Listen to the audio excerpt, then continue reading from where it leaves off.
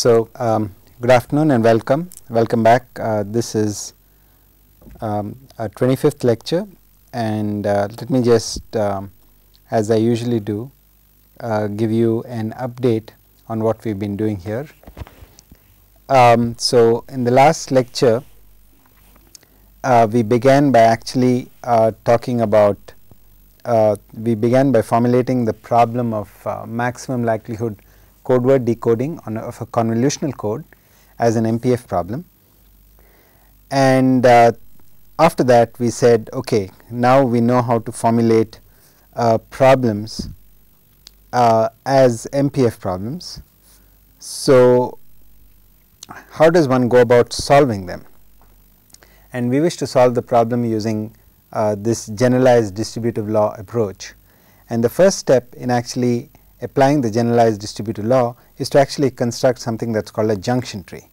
So, the, the latter part of the lecture was devoted towards uh, uh, talking about junction trees. So, first we defined what a junction tree was and then I showed you an example of a junction tree and then the natural question is well how do you construct a junction tree and towards that I actually stated uh, a theorem and we will go ahead and start our lecture by proving that.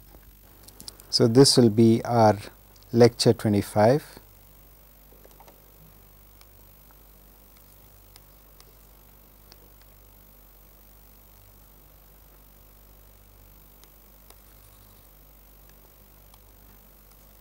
This will be our lecture 25 and what this lecture will be uh, about uh, we will be talking about uh, junction trees and message passing.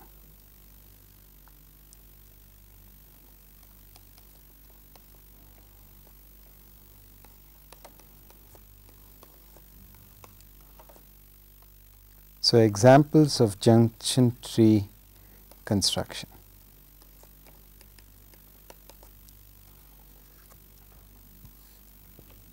So, as a quick recap of our last lecture,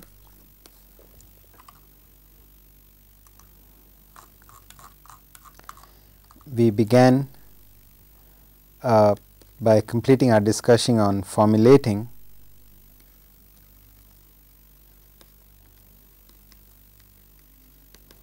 formulating the decoding of a convolutional code code as an MPF problem. And after that I defined what it means to be a junction tree.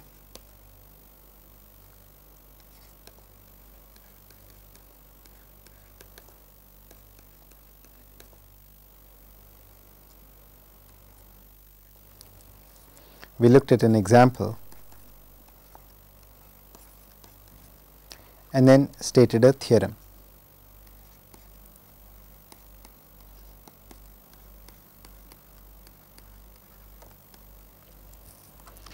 And today our task is actually to prove the theorem. So, towards that let me do the following. Let me actually uh, reproduce the theorem on the current lecture.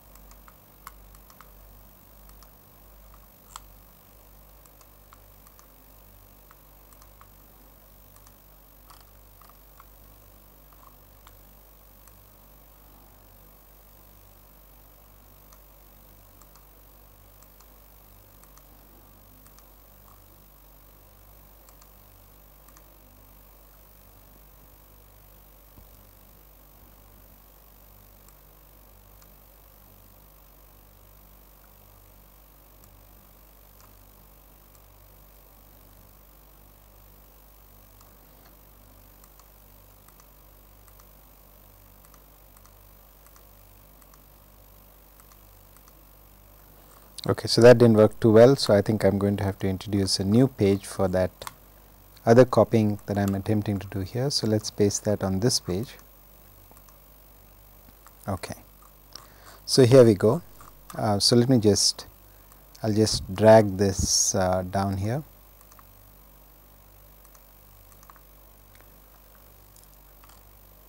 So, if G is a graph whose nodes correspond to the local domains of an MPF problem and which is also a tree, then it must be that the edge weight must be less than or equal to the node weight of the graph minus n where n is the number of variables and that is also the size of the universal uh, set. And the proof is actually quite simple. So, the proof is uh, let let uh, I believe um,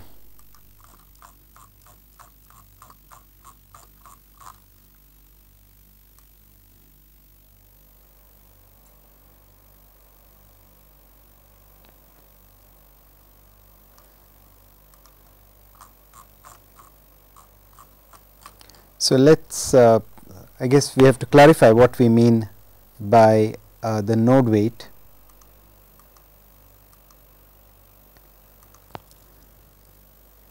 Uh, the weight the weight of a node associated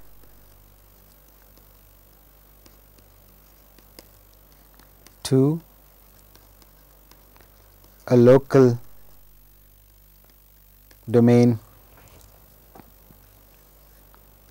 x S i is equal to the size of the set S i. On the other hand, the weight, the edge weight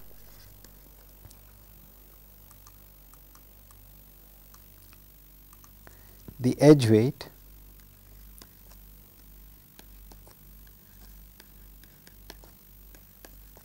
of an edge connecting nodes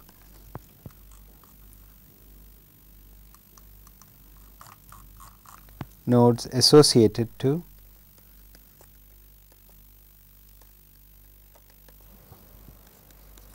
to x s i and x s j is equal to the size of the intersection. and the node weight of a graph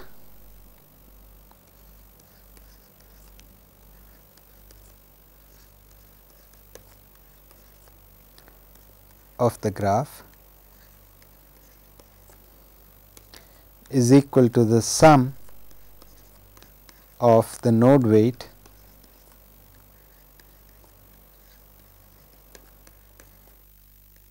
of the nodes in the graph.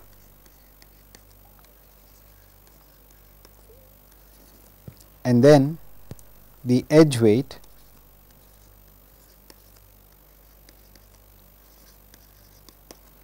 of the graph is equal to in a similar way it is equal to the sum of the edge weights of edges in the graph.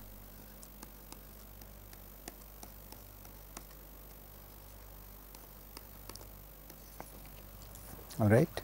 So, uh, perhaps we should look at an example.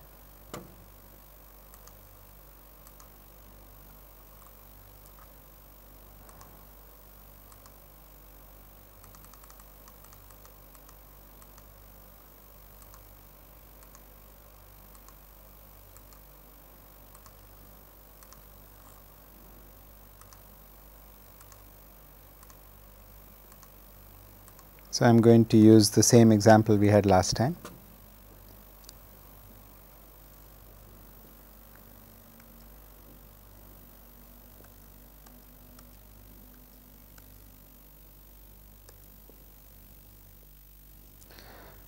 Um,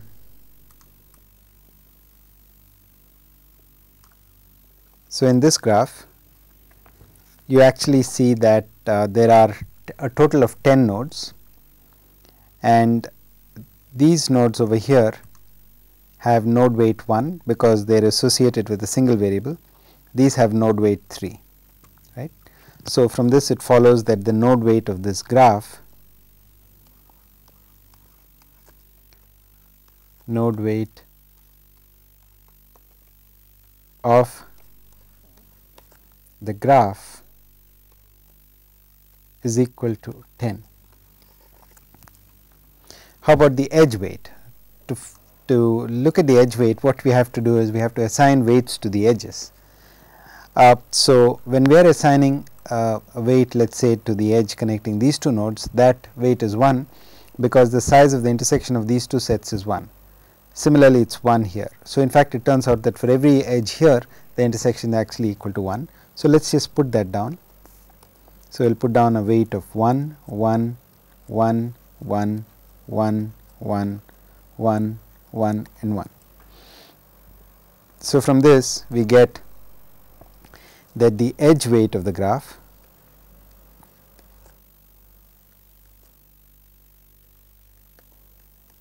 of the graph is equal to let us add. So, 1, 2, 3, 4, 5, 6, 7, 8, 9. Okay. So, there are actually um, uh, excuse me there is uh, an error here. Uh, the node weight is actually there are 7 singleton nodes for a total of 7, but then there is 3 3 3. So, that should be 7 plus 3 times 3 that should have been 16 uh, sorry about that. The edge weight on the other hand we did compute correctly 1 2 3 4 5 6 7 8 9. So, the edge weight of the graph is actually equal to 9. Okay. And what our theorem actually said, the theorem that we are trying to actually prove now, it says that the, the edge weight of, of, of a graph associated to the local domain, given that it is a tree, must be less than or equal to the node weight minus the number of variables. So, in this particular case, we see that the difference between the edge weight and uh, the edge weight is less than or equal to 16 minus 7. So, since the number of variables is 7 the theorem holds in this case. Uh, so, thus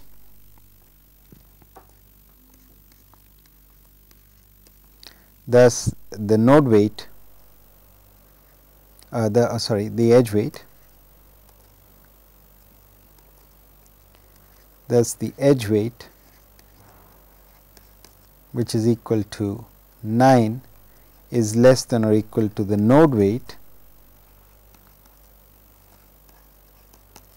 minus 7 because this is 16 minus 7. So, we see that the theorem actually is holds in this case, but we still have to prove it. Now, for the other part of the graph. So, let us uh, one other small piece of notation, let us actually call this entire graph graph G. Okay. So, this is a tree and it is a tree where the vertices are in one to one correspondence with the local domains that arose from the MPF problem. Now, I would like to go back to our earlier lecture and in which we actually talked about the projection of this graph. If you recall, we said that here is a graph and one way to test whether or not a graph is a, a junction tree, given that it is already a tree, is to actually take the graph and project it onto each of its uh, individual variables and if the graph that you get in that manner is in each case a tree, then you have that what you had originally is a junction tree. Uh, that was one of the two equivalent definitions of a junction tree. So, when we projected this graph and here is the projection onto x 1, you see these two nodes and you see that this is a tree. Okay. So, in our notation what we are going to do is we are going to call this in retrospect uh, we are going to call this the graph G 1. So, since um, I want to make use of this let us again uh, select the page and copy it onto our current lecture. Okay. And I am also going to use the next projection over here. So, let me select that as well.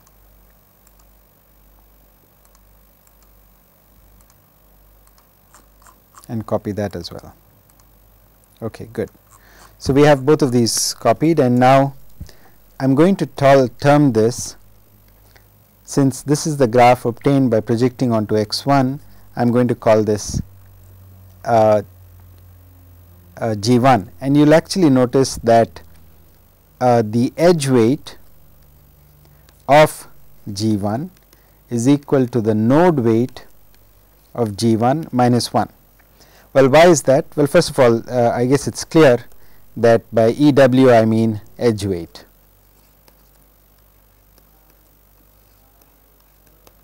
And similarly, that by N w I mean node weight.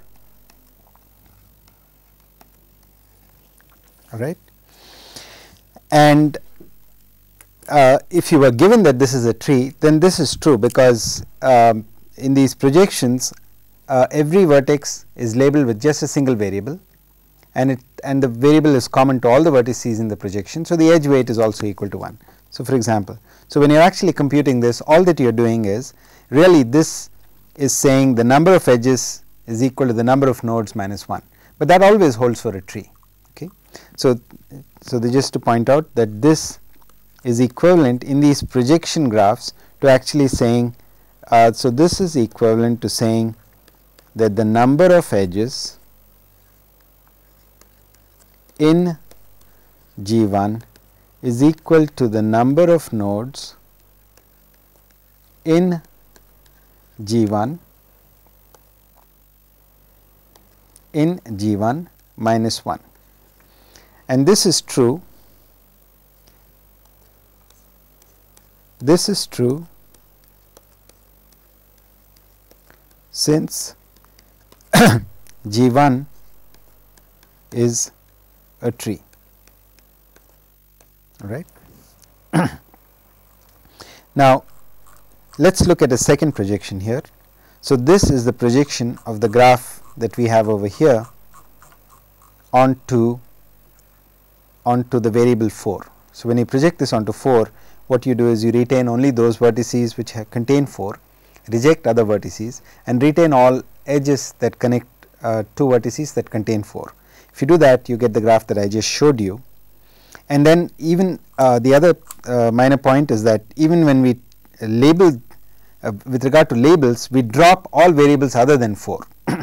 so, again once again you have the property that all the vertices have um, a single variable. So, their node weight is each equal to 1 and all the edge weights are actually equal to 1. Okay. So, once again you have in this case that the node weight of G 4 the projection onto x 4 is equal to 4 which is equal to the number of nodes in G 4. The edge weight of G 4 is equal to 3 is equal to the number of edges in G 4. So, therefore, it is uh, once again true that the edge weight of G 4 is equal to the node weight of G 4 minus 1. Okay. right. So, now let us get back to our proof.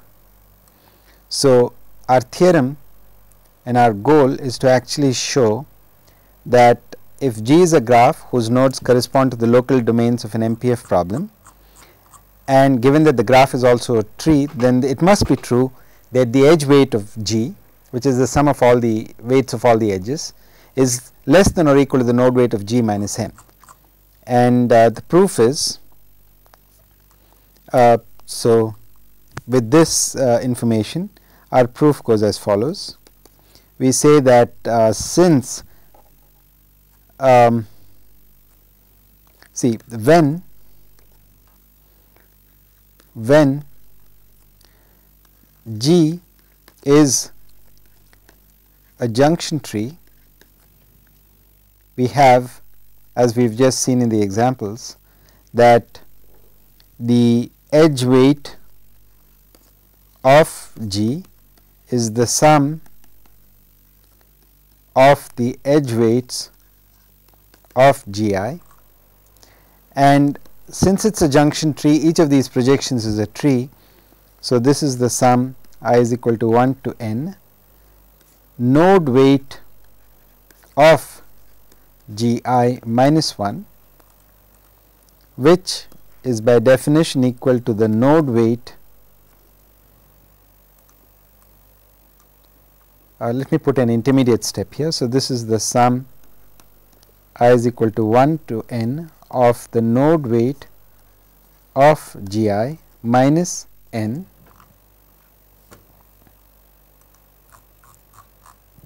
which is equal to the node weight of G minus n. Okay. So, therefore, we have that the edge weight of G is equal to the node weight of G minus n provided G is a junction tree. Now, so what happens what would happen if let us say G were not a junction tree. What would happen is that if for instance this was not a junction tree then what you would have is that when you project onto each of the variables you would get a graph that is not a tree it in the sense that it would not be connected and uh, uh, so it in some sense you can view it as a union of trees which in graph terminology is called a forest okay? So um, perhaps I can do uh, uh, let us see if I um, should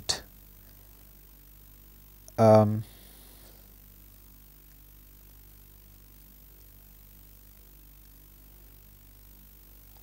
let me um, right I think that um, I will take this example and uh, yeah perhaps it is best to illustrate with a second example.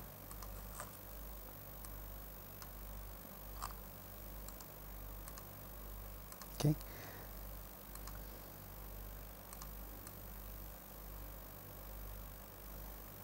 Let me delete all the material that I do not need.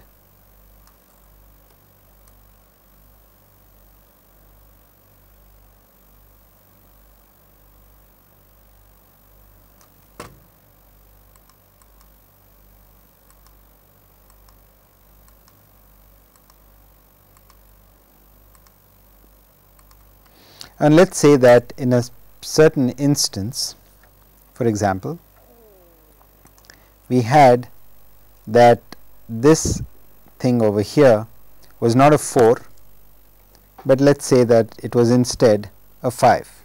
Okay.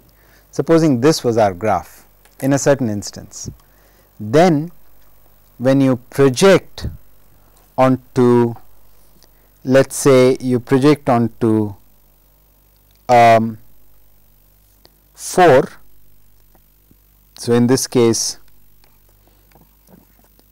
G 4 would look like 4 corresponding to this node, then there would be a 4 which corresponds to this node here and there would be a 4 that corresponds to this node over here.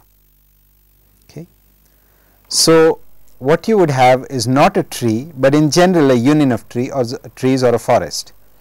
Within each tree it is actually true that the number of nodes exceeds the number of edges by 1, but when you add over all the trees the deficit is no longer 1, but equal to the number of trees. Okay.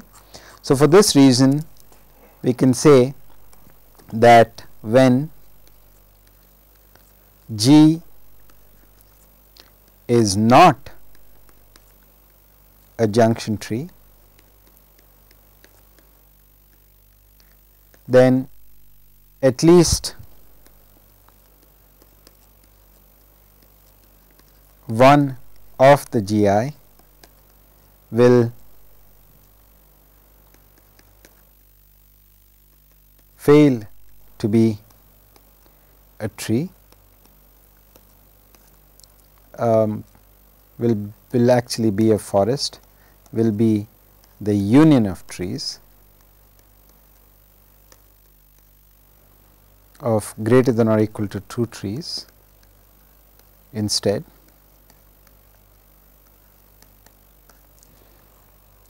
And hence, in this case what will happen is that the edge weight of this g i will be less than the node weight of g i minus 1. In other words, you will not equality will not hold. Okay. So, you will have strict inequality. So, then when you uh, so as a result of this as a result of this when you go up here and try to do the same argument that you did for the case when G was a junction tree and you sum over these edge weights then you will actually you not have equality here you will have inequality here which means that the edge weight is less than the node weight minus n. Okay. In this case, uh, so let us give the equation that we had up earlier a number. So, let us call this 1 equation 1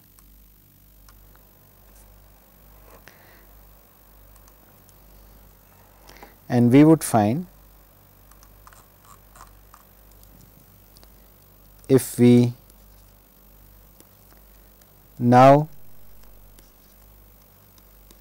proceeded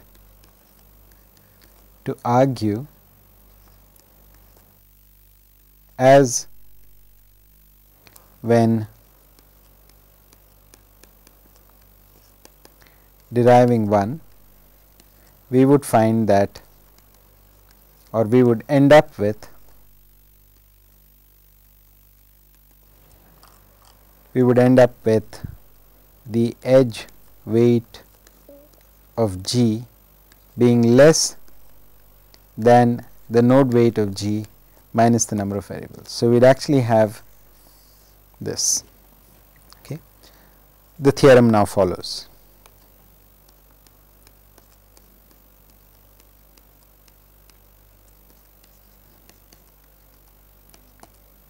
And the reason the theorem follows is because we have already shown that the edge weight is equal to the node weight minus the number of variables when it is a junction tree and if it is not a junction tree you have a strict inequality.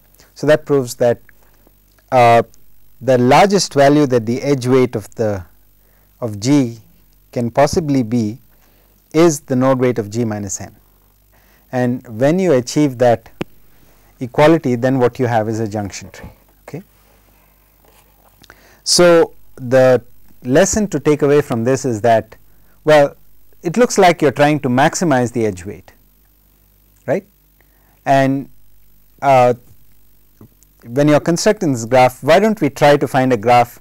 So, you have a set of local domains why do not we try to construct a graph out of it which is a tree and where the uh, which which connects all the uh, nodes. So, it must be what is called a spanning tree and it must have maximal edge weight. Okay. So, the upshot of all this is that this suggests this suggests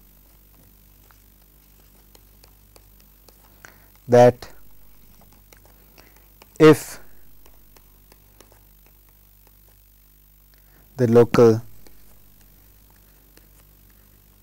domains can be organized into a junction tree then that junction tree represents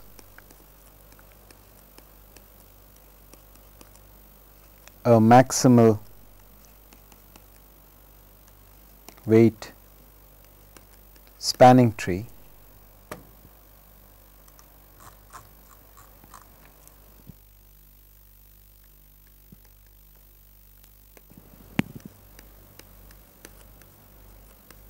for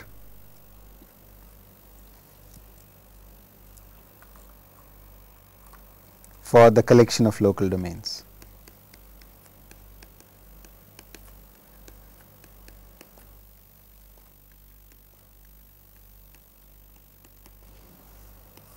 Now, in the computer science literature, uh, people are there are two well known algorithms for constructing minimal weight spanning trees, but these are easily adapted to constructing maximal weight spanning trees. So, the algorithms that people commonly talk about are uh, Prim's greedy algorithm as well as uh, another second algorithm due to Kruskal. However, uh, we will follow Prim's greedy algorithm and I will not actually describe formally the algorithm since I think uh, it would consume perhaps more time than we have. What I will do however is just illustrate it in the case of some examples. Okay. um, a maximal weight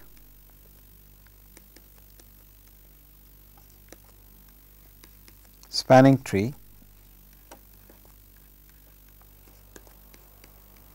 and we will we'll abbreviate this by MST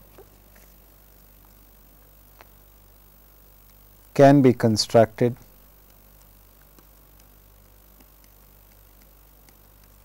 Using Prim's greedy algorithm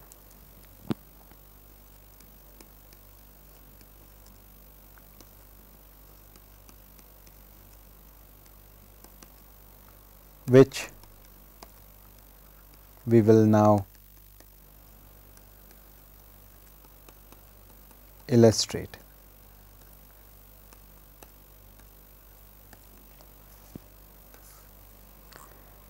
So, let us start with uh, an algorithm which we uh, came across some time back um,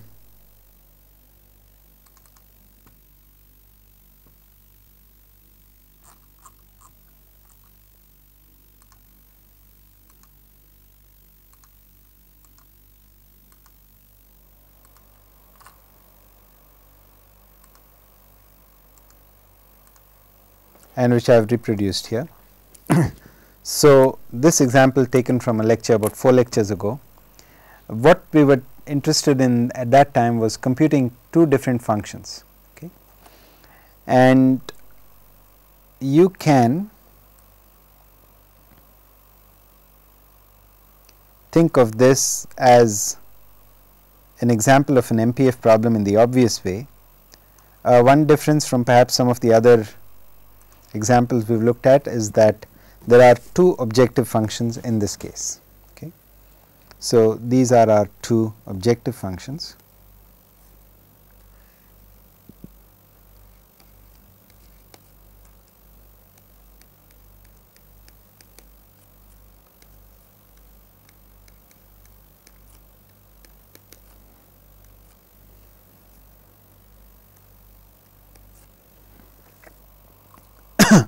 so, based on this we can make a list of our local domains so, our local domains in this case are x y w which is associated to local kernel f of x y and w. Then you have x excuse me then you have x and z associated to g of x z and then you have looking at the objective functions you have x, w and y. so, you have x w associated to uh, since this is an objective function what we do in these cases is just assign a kind of a dummy local kernel which is 1 and uh, finally we have just one more which is we have the local domain y once again since this arises from an objective function which is associated with the dummy local kernel 1. So, in this case we have these 4 local kernels, these two objective functions. The global kernel of course is the product of all of these which is just the product of these two. Okay. Now, uh, we want to apply Prim's greedy algorithm to actually organize these local domains into a junction tree. Okay. So, uh, 1 there are 1 2 1 2 3 4 uh, local domains. So, we can pick any one of them and actually start the process. So, let us say that we pick uh, x z just like that. So, we picked one of the local domains and we actually drew up a node. Now, our next task is actually to pick Prim's greedy algorithm says well try to maximize your edge weight at every opportunity. Okay.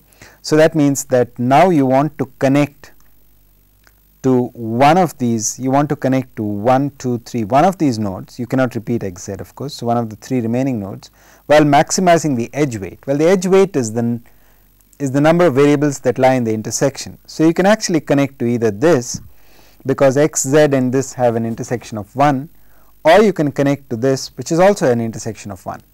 But it turns out that it turns out that um, so I will just make an side comment here aside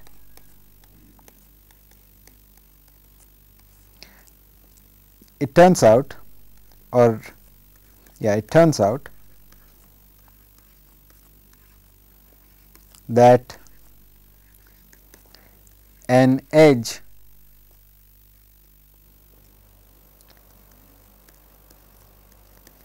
Connecting nodes x s i and x s j incurs a cost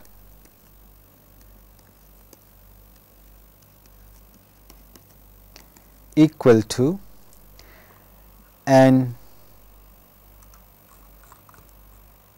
equal to q of S i plus q of S j minus q of S i intersect S j. So, let us call this equation 2. Now, I should point out that, so what I am actually saying is that given a bunch of local domains, you want to actually construct a local domain and I pointed out that if uh, to into a junction tree and if a junction tree can be constructed then that junction tree will correspond to a maximal weight spanning tree. So, let us instead apply an algorithm that gives you a maximal weight spanning tree and we are going to use Prim's greedy algorithm. And Prim's so a greedy algorithm means that you look for instant gratification that you try to actually maximize your current profit you do not think long term.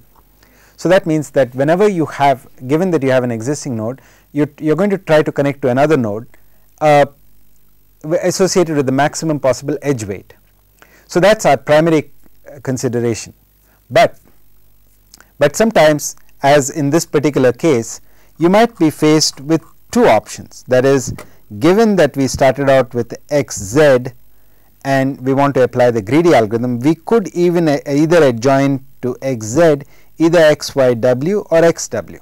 Okay and in such cases then you can actually look a little beyond Prim's algorithm that is go above and beyond what you need to construct a junction tree and start thinking about this criterion. It turns out that the computational complexity of having in your graph two nodes that are like this which are connected with an edge. In other words, if you have a graph like this which has x s i x s j and these are connected by an edge, then it turns out that the cost of having that there is an edge cost to having an edge like this in your graph because after all you are computing you are going to solve the MPF problem by computing the objective functions. So, that involves some computation complexity. So, the cost measured in number of operations uh, the operations being either multiplication or addition, it turns out that the cost in terms of the number of operations of having these two nodes connected in your graph is the size of the alphabet of the variables in SI taken together. So, for example, if SI consists of two variables each of which is drawn from an alphabet of size q, then the size of the alphabet of the pair of variables together will be q times q, q squared. Okay. So, it is that sense that we mean this.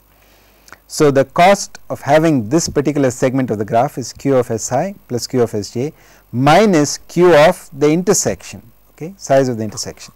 So, with that in mind when you actually come down here and you say aha look if I actually put this I will incur a cost of x squared. Let us assume that uh, all these variables are drawn I think in our example all of them were drawn from uh, an alphabet of size q. So, perhaps just to emphasize it let me repeat that here. So, w, x, y, z all are drawn from A and the size of A is equal to q. This was our setting. I guess I do not need the commas here.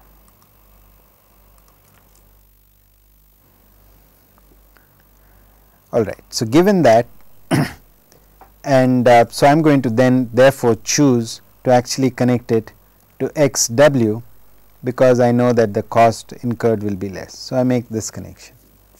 Okay. So, there are a total of 4 local domains and I need to connect make this a spanning tree so, I need to have a tree, I need to run all through all the edges and I want to maximize my edge weight. So, here my edge weight here turned out to be 1 and now I, I have y and I have x y w. So, Prim's algorithm says well I can either put x y uh, I can either connect it to this or to this, but then if I connect x y w to this I will maximize my edge weight it will become 2 right. So, I am going to do that. So, Prim will say in this case let us actually put x y w down here and now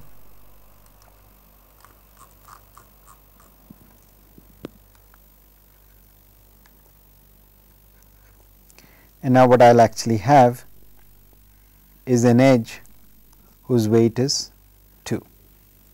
Okay. There is just one local domain left which is y and again it is clear that you must connect y here. Okay. So, you must connect y here.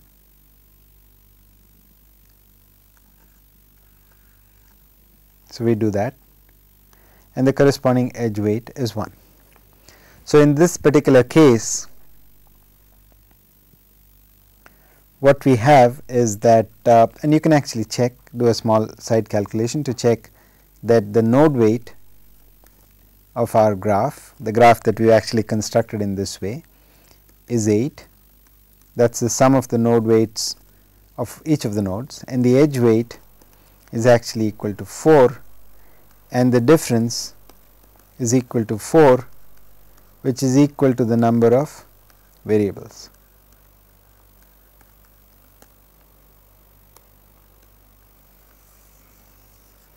all right. So, that proves that this is a junction tree. Of course, it also proves that it is a maximal weight spanning tree because the, the maximum possible value of the edge weight of this graph was the node weight minus the number of variables. The node weight is fixed because it is the sum of the sizes of these local domains. So, the only thing that was variable was the edge weight and you made it as large as possible. So, this is the junction tree for this example.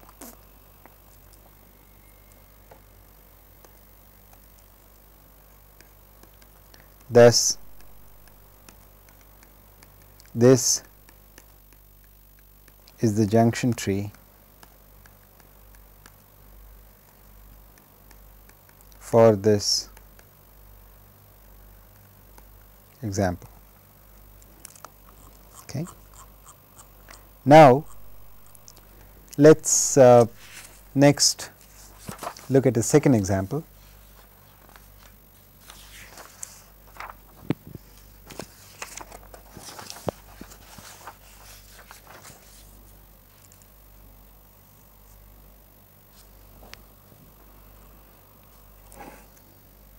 So, let us go ahead and call this, um, we will also call this example 1.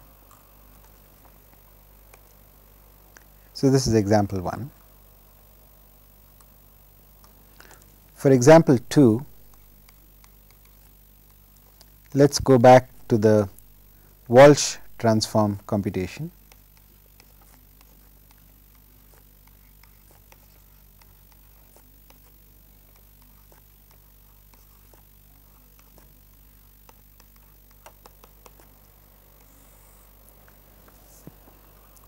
And uh, which uh, I guess perhaps I should uh, see if I can quickly bring that down as well.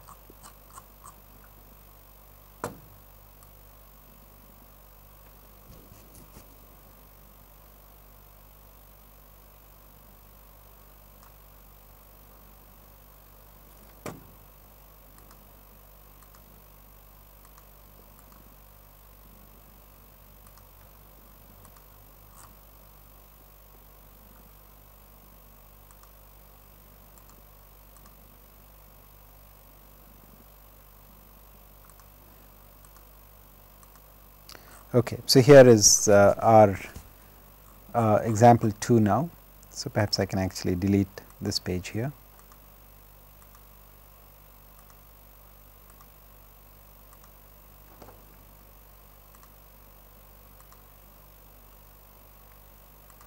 So, this is our example 2 in which we have the uh, Walsh transform and uh, you can actually see the local domains and local kernels very easily, but we will put them down again. So, the local domains uh, well actually we have computed them. So, perhaps we can uh,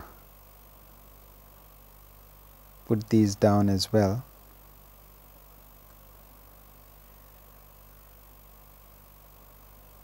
Maybe not. Okay. So, I am going to repeat uh, never mind. So, I will repeat the local domains. So, the local domains are just from this computation uh, we have the local domain x1 x2 x3 we have x1 x4 x2 x5 x3 x6 and then x4 x5 x6 okay so so we have a total of um, 1 2 3 4 5 we have a total of 5 local domains so i'll actually put these down. So we have x1 x2 x3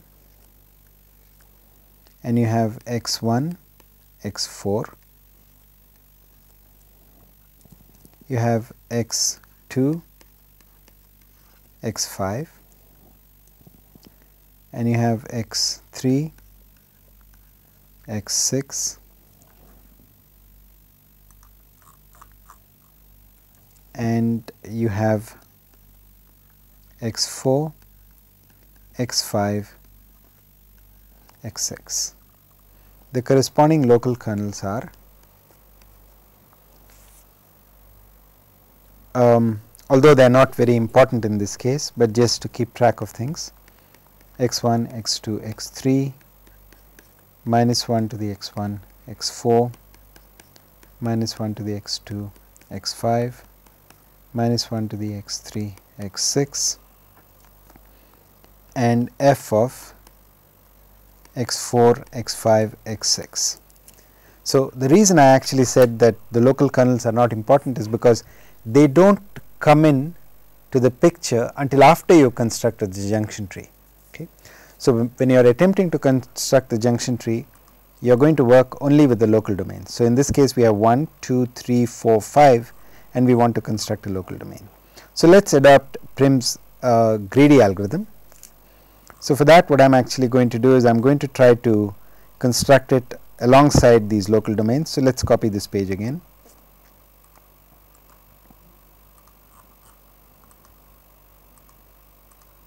Okay, here we go. And now I am going to delete this which we do not need and I will try to construct the the graph on this side.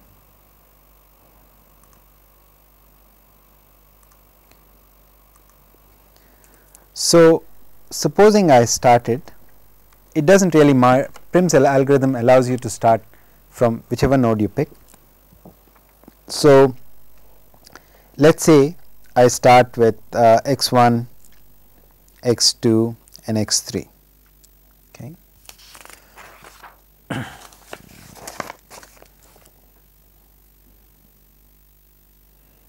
I start with and let us put that down here. So, x 1, x 2, x 3.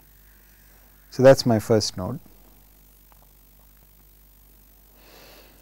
And uh, now, when I, uh, I see that uh, the maximal edge weight if I append any of these, I cannot append this because the edge weight is 0.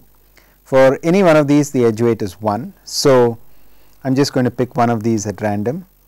So, let us say that I put um, excuse me let me put x 1 x 4 over here and I connect this and the edge weight happens to be 1 since the intersection is just 1.